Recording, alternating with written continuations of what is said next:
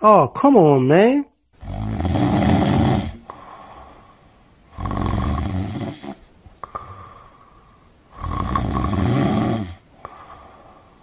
Six hours later. Excuse me, what the?